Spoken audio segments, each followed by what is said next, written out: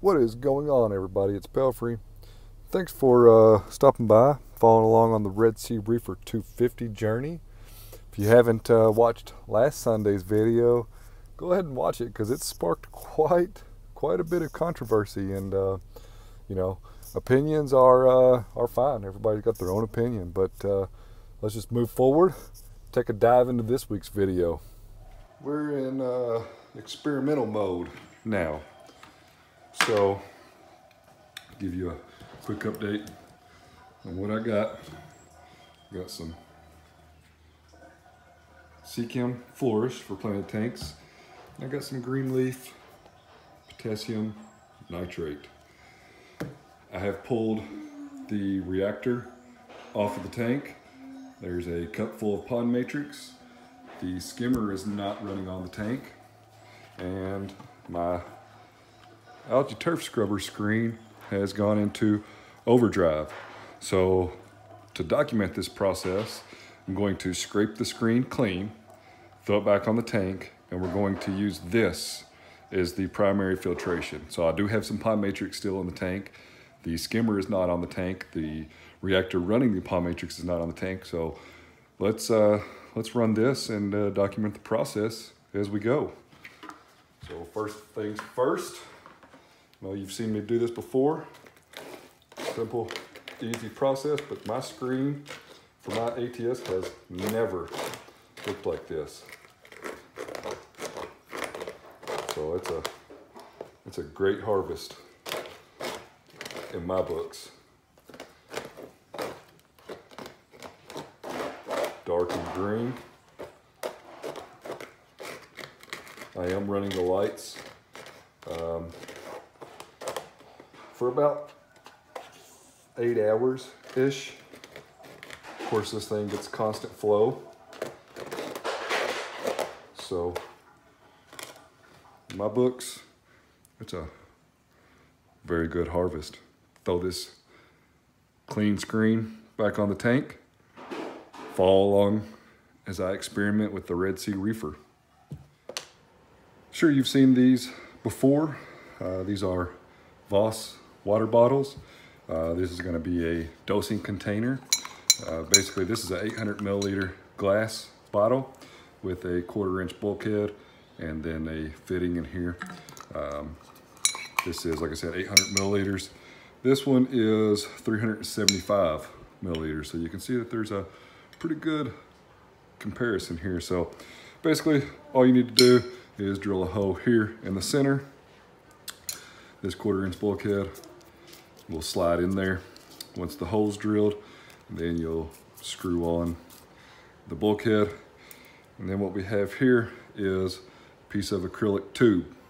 So you'll measure it, then I will score it with a uh, razor blade, slide it into the container, and we're done.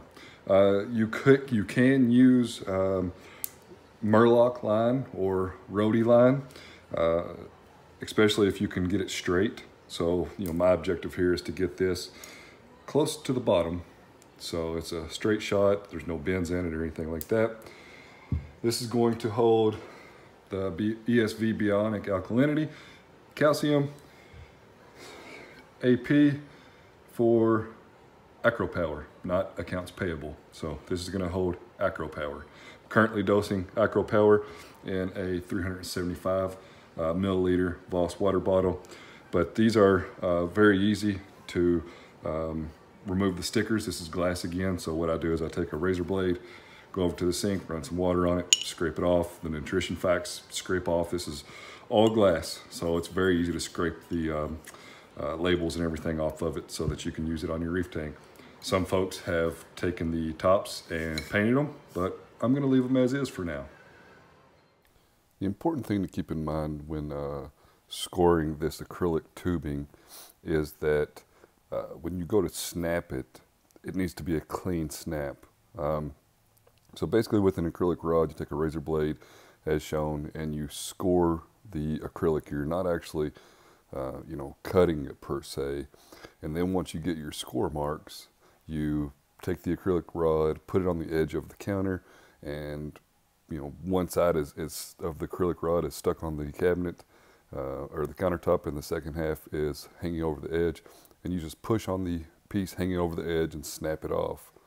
I just ha- happen to have an issue with not being able to score the acrylic rod, so I went with the Murlock line. So it's just user preference, it's not a big deal.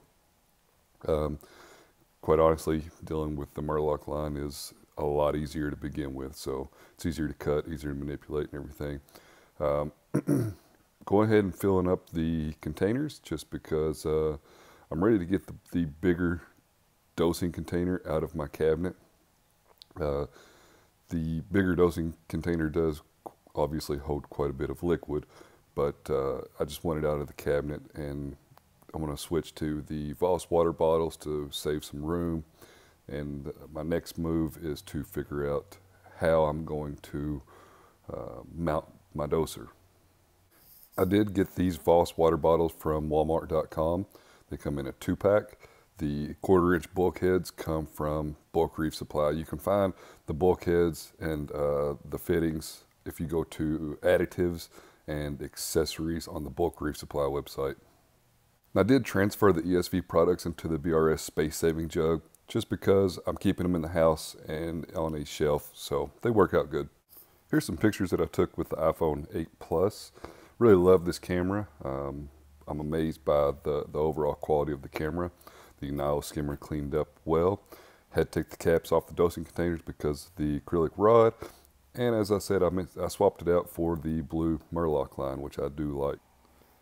In regards to the sump space and all of the real estate that I have now for various as what I would call activities, I went ahead and I ordered um, some substrate, some mud, some miracle stuff, um, something that I've wanted to try out for a little while now. I just have not had the real estate for it. So, uh, picked it up off of uh, the Marine Depot website. Uh, just like everybody else, you know, spending 50 bucks for some mud seems uh, pretty expensive. But, you know, you got to pay to play, I suppose. But anyway, I've been wanting to try it out for a little while. I know that uh, there's people that love it, there's people that hate it. It's just like anything else. You either have a very strong opinion about it or you just simply don't like it at all. I just want to find out what the hype is is it worth it? Is it not worth it? You know, follow along because I'm going to find out. And if you watch the Aquari, AquariClip um, gel filter video, you know that I'm pretty well not going to hold back. I'm going to give you my opinion on whether or not I like a product or I think that it's worth your time and or money. So, you know, being upfront and honest, I think is uh, very important. And that's just what we're going to do. Ecosystems Miracle Mud. So since I talked about the packaging in my previous video about the AquariClip, this is straightforward. It's a dry substrate. It comes in this container. This is a five pound uh, container. It comes in the left container, I should preface. Um, I bought it from Marine Depot. They packaged it well. I had no, no issues with it whatsoever. I actually put it inside of a critter cage. Um, so this is one of the cages that you can pick up at one of the pet stores. It's got a a vented hood that goes on top of it, which I'm not going to use. But I originally picked up this container to uh, introduce new fish into the tank. You know, drill some holes in it, use a magnet or whatever. But it's been sitting on a shelf. I ordered the mud. I don't have anything else to put the mud in. So I dumped five pounds in. And, you know, quite honestly, I could dump um, uh, ten, probably another five pounds, have 10 pounds total, but we'll see if that gets that far. So all I did was dump the Miracle mud, which is miracle sand, into the container. I took two cups of tank water and dumped it into the container. And you can see how cloudy and uh, murky the water is. My objective was to let it sit overnight, and that's what I did. So the next morning, I didn't turn any pumps off. I didn't turn anything off. Uh, take the miracle mud. And as I'm dropping it into the water, I'm second guessing myself, saying maybe I should turn the flow off. But at this point, I'm just a little too far ahead. I can't back down. So let's just drop it in a tank and, um, you know, see what happens. And I've watched a, couple videos on this, um, you know, Daily Reefing being one of them. He put it in his tank, and of course, everything got cloudy. And I fully expected that to happen. I was uh, waiting for that to happen. And of course, it happened. Of course, the, uh, the sump got cloudy. And, you know, there, there's really nothing you could do about this. Even uh, killing the flow in the sump, it would, I guess, minimize the uh, the cloudiness into the display tank. But uh, you know, at the end of the day, this is a closed system. So what's in the sump gets pumped to the display. What's in the display falls into the sump. So there's no way around it. It's going to get cloudy. And again, I'm completely skeptical of this product. Um, you know, it is what it is. I'm going to leave it in the system and we'll, we'll see what happens. Mind you, I put this into my sump at uh, 7.30 in the morning, which my lights don't normally come on. So I turned the Kessils on just for the uh, demonstration to show you that the, the display did get cloudy. Um, I actually expected it to get a lot more cloudy than it did. But overall, wasn't that bad. Uh, you know, there's some polyp extension. Truth be told, the lights were off anyway and that's typically when there is polyp extension on the majority of these corals. So, you know, uh, uh, flip a coin. You know, that's all I'm going to say. I mean, I, I, don't know if the the miracle mud was uh, any result of that, but you know, 20 minutes later, the uh, sump is cleared up, and uh, off to work I went. Whenever I got home in the evening, display was uh, cleared up.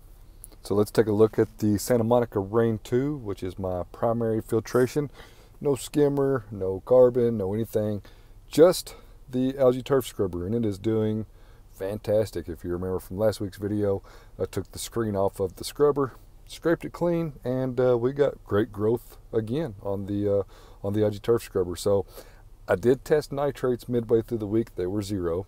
Phosphates were uh, about one, and uh, alkalinity was 8.7. Those are the three that I tested for. But you can see here that I'm having some bleaching issues and it has been pretty, pretty bad.